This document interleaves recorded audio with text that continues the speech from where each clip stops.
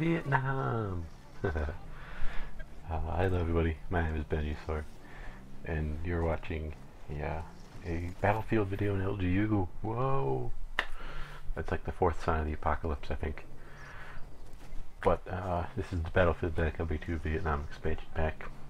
Uh, if I make references to it, it'll be called Vietnam because it's easier to say.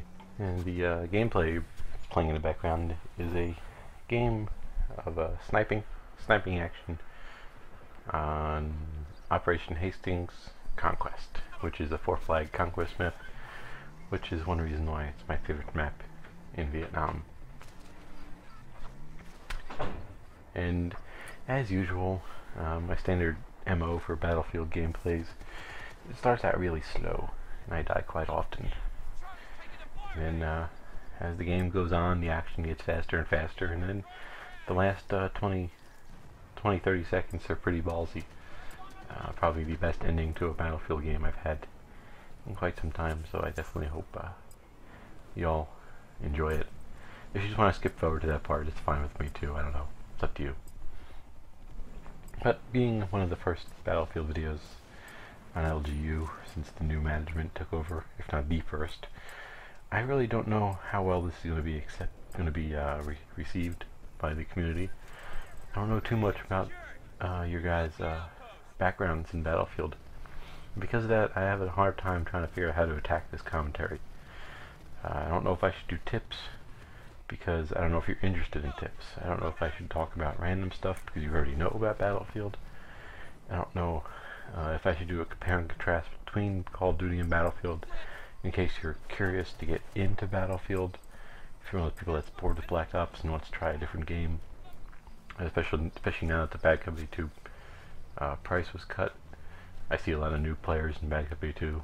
Uh, I don't know if they're second accounts or if they're actually new players coming into the franchise. So I'm going to try it. Hopefully I can shotgun it and uh, hit, a, hit a couple of those areas in this commentary. Uh, if you're coming in from new, another franchise like Call of Duty, there's one thing you should know about Battlefield. Unless you're playing Squad Deathmatch, which is basically four teams of four players playing against each other, uh, one person cannot carry their team. They can't. It cannot be done. You can help carry the team, but ultimately, if, if your teammates are not doing their job, you will lose the game. So that you have to kind of crack that mentality of, of getting angry at everything. Because if you're, especially if you're a new person in Battlefield, levels 1 to 15 maybe, will be your learning curve, and it's definitely a big learning curve for a shooter versus Call of Duty, where it's like levels 0 to half and you're already at your learning curve. So that's up those are things to expect.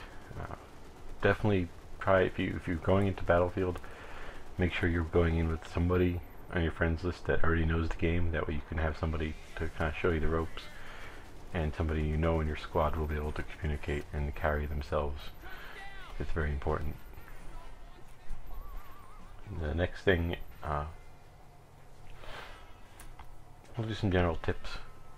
Uh, battlefield tips, pretty common knowledge if you know Battlefield. If you don't know Battlefield, then, then these aren't maybe new to you, I guess.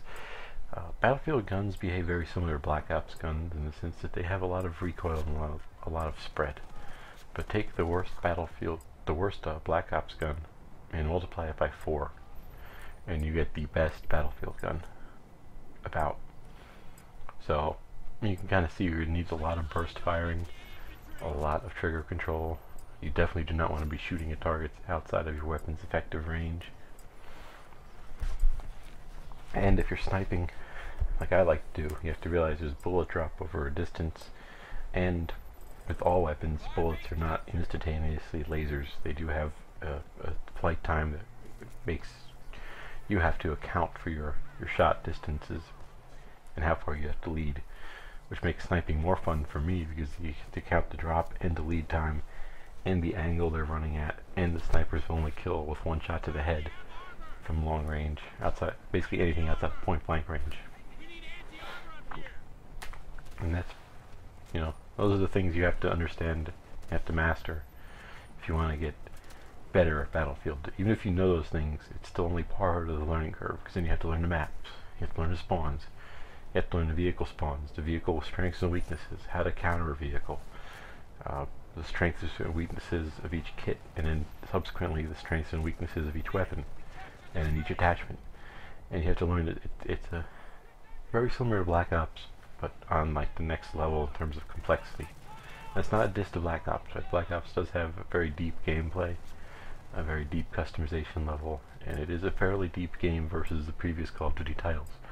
But even with that, it's still, in terms of what the player themselves has to know, it doesn't quite match Bad Company's 2's level. And Vietnam is a little different because the weapons are balanced differently, and there's less weapons, so you have a little bit more simplicity in determining which one to use and how to use them.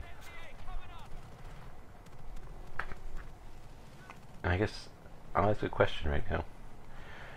Uh, what is the LGU community's background on Battlefield? Uh, just leave a comment. Did you play the games? Are you interested in playing the games? Have you played since the beginning in 1942, all the way back in 2000 when 1942 was released? Did you play Battlefield 2? Just kind of, are you excited for Battlefield 3? You know, just let me know some of your background so that way any future uploads I submit to LGU I can kind of understand the audience of the people that are, will be watching and then I can maybe give you guys some more advanced tips some maybe some map route videos some uh, general tactics. I can do that. I don't really like doing that. What I always tell my people the viewers on my channel is uh, my, my tips and tactics come from watching my gameplay because it's hard for me to really describe what I'm doing. It's a lot easier to watch what I'm doing, and that's just something that I'm probably going to say to you guys. But you know, if you, if you want tactics and tips, then you can definitely, uh, I'll definitely give them to you. But I need to kind of know where your background is like, so I can gauge them to the right degree of precision or depth. I don't want to give advanced tactics to people that don't know anything about the game and likewise, I'd rather not give basic tactics to people that have hundreds of hours in the game. And if you're wondering, I myself have 480 hours in Bad Company 2 and probably 2,500 hours across the entire franchise. So I've been around for a while and I'm fairly seasoned. At this point in the gameplay, you're probably noticing the action has picked up quite significantly. Uh, this is a four flag conquest map, and this is kind of rare on a four flag map that we haven't four we haven't quad capped and basically they're stuck in their spawn. And normally I have a, a personal thing against spawn killing and spawn trapping, just because I'm I like to try to be a fair a, a, good sport and play fair. But in this situation, um, I knew I wasn't going to get was not going to get any points if I did not participate in the trap. So here I am spawn trapping. Again, I don't really like doing it but sometimes you gotta do what you have to do to get the points. Because otherwise your whole the whole 20 minute game will be wasted basically wasted if you're not gonna max out on the amount of points you can get because you're, you're refusing to you know to do what needs to be done to get those points. That's another thing I wanted to mention. When I play Battlefield, I play for fun. I'm not MLG Pro. I consider myself decent. I know a lot of people that follow my videos are going to say that I'm, I'm a lot better than decent but I will always consider myself decent because there are a lot of times where I just hor I'm horrible at this game, and uh, so I can't consider myself MLG pro. So you're not going to get MLG gameplay from me because it's not me. I know there are a lot of people that are better than me, and they don't necessarily do YouTube stuff, but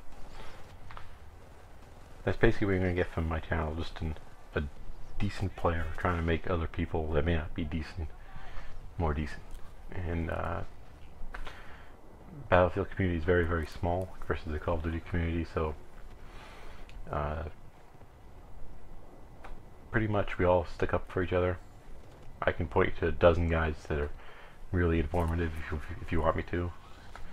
Uh, you could go to my channel and just click on some of the videos I've liked and favorited and you'll see maybe not so much favorited because I tend to use non-gaming videos for my favorites but if you want a guy that's all Battlefield, 99 out of 100 games of Battlefield, that's me. And uh, I try to keep it fresh. Each time I try to do something different. It may not be terribly different, but recently I've had this huge addiction of trapping C4 to jeeps and driving into tanks and blowing the tank up. So, what can you do? Anyway, guys, my time is basically up. Uh, until next time, happy fragging.